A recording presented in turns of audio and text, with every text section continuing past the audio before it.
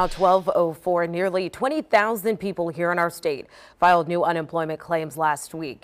That's down from the week before, but still at record levels. The Louisiana Workforce Commission reports more than 300,000 people in the state are getting benefits. That's also down from a week before, but it still represents 16% of the state.